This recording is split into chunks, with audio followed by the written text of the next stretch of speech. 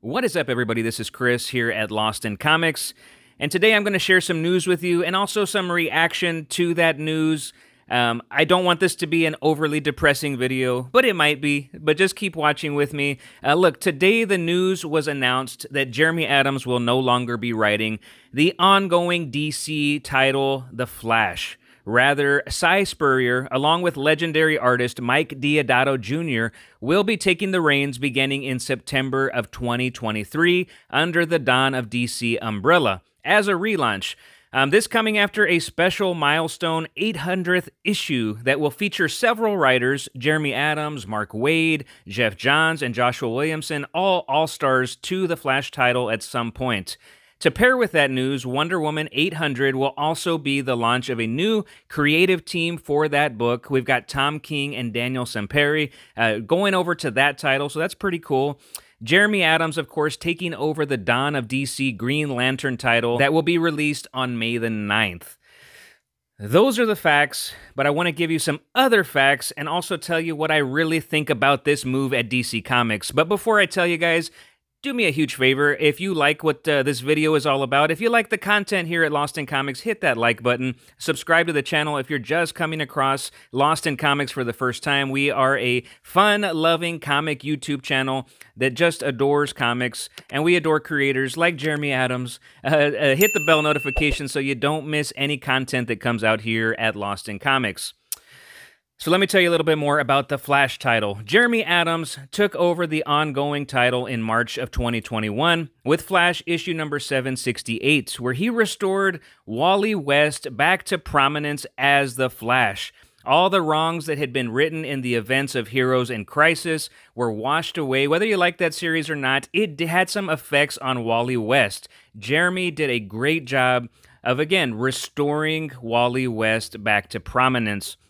Jeremy has proceeded to write 28 issues, including one shots and annuals, and that's as of Flash 794, which just came out this week, which he will end up writing more up to issue number 100, as we know.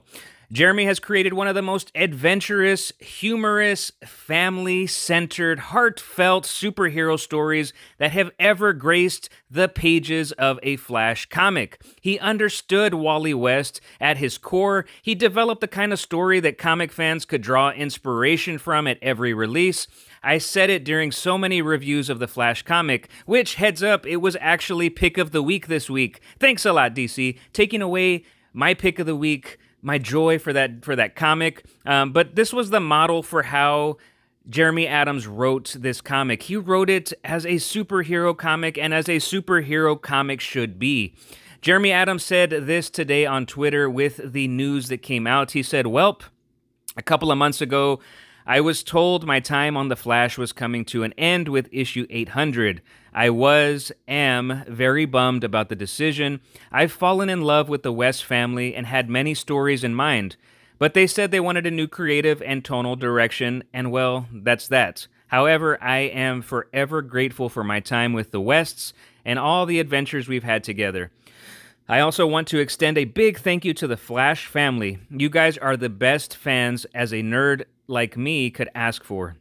So, next, Green Lantern, a couple of movies, and I'm going to try my hand at a creator owned story that I hope y'all will join me for. Stay tuned.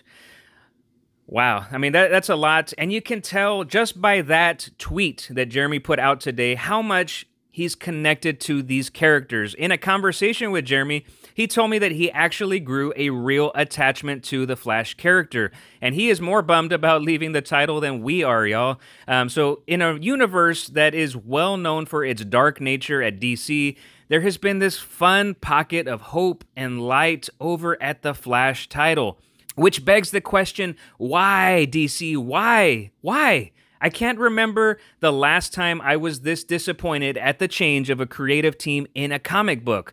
I understand the nature of this business and I totally get it when a title isn't doing well, it's being poorly written, but that was not the case with The Flash. I have asked several friends of mine who had comic shops, and that title was actually doing well. Um, this book was a highlight at DC and it was only picking up steam with the One Minute War.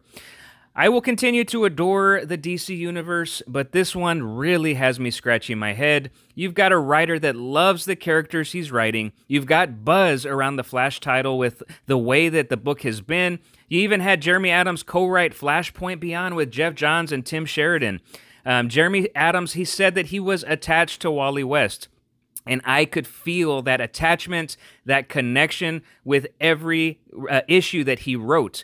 I am thankful that Jeremy is getting another book, but as a faithful reader of the Flash series, even before Jeremy took it on, I have to say this feels like a bad move by DC.